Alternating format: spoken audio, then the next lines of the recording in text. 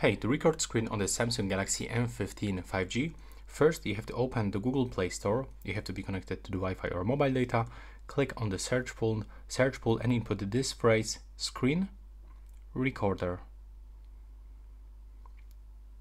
Now as you can see we can find a lot of different apps, but in my opinion this one looks pretty good. This one works really good, the InShot X recorder. So click on this and tap to install. Now we have to wait just a few seconds until this application will be downloaded and installed on our smartphone. And after this, I'm going to show you how we can use it. So now we can open it. Click here and just wait.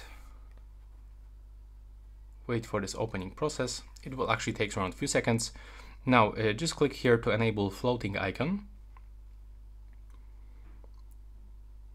Wait for this screen and from this screen uh, we have to select the screen recorder icon. It's right here the X recorder so we have to click on the switcher.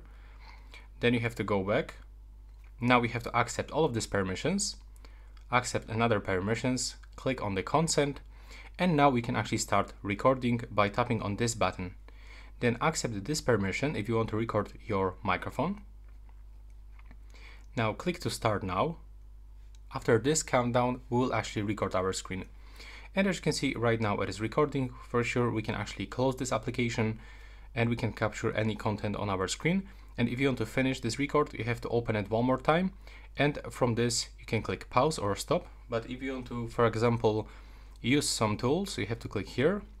And as you can see, you can, for example, draw while recording, or you can select something remove. There's like actually a lot of different options that we can use uh, in this recorder. So this is pretty useful and very cool.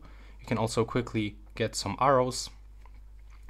And now if you want to finish this record, just open it one more time and click here.